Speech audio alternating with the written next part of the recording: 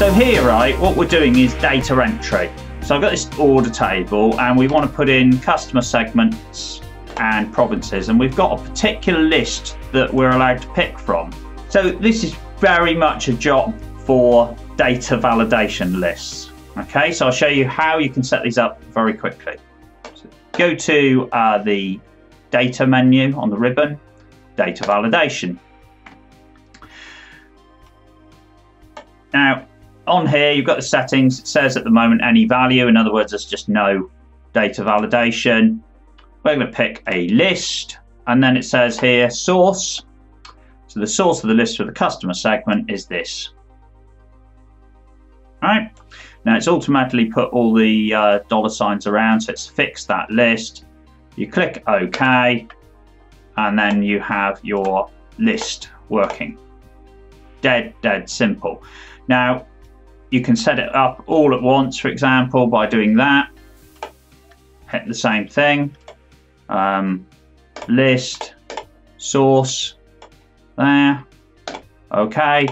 And you can also, for example, just copy and paste data validation if you do a paste special.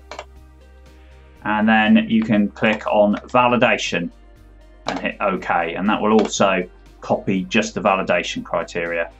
So that's that set up there. Now you can also hit Alt and the down arrow um, and the Enter key, which can sometimes be a lot faster, which is also quite useful. It's not obvious when you look at a cell that it's got data validation on it. It's not until you actually click in it or you select it that you'll get the actual arrow. And if you start typing, so say um, customer segment I call, you know, if I type Excel, for example, you get this sort of uh, value doesn't match. You can cancel that and then it will just wipe what you've typed, which is kind of can be annoying because if somebody spells something wrong, I mean, it's going to guess on that one actually, but if I went up here and typed in uh, home office, no, it's still guessing actually. Let's just get rid of those.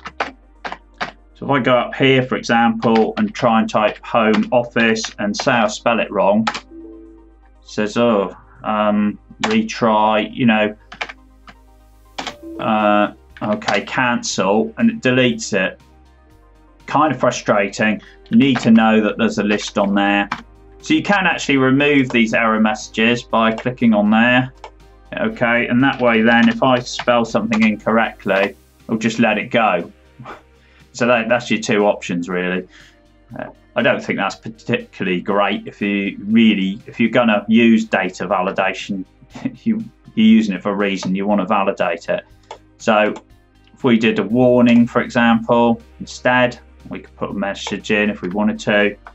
So if I go in and do that, now just get a warning saying, do we want to continue? We can continue and accept that invalid data. Data validation, definitely the way to go if you want a list and you're doing data entry. Really, really simple, easy to set up, great for sort of data entry and things like that. But they don't really look like drop down lists. So if you're trying to create some kind of dashboard or something, probably not where you want to go. Hope that was useful. You know, good luck building your spreadsheets with the drop down lists.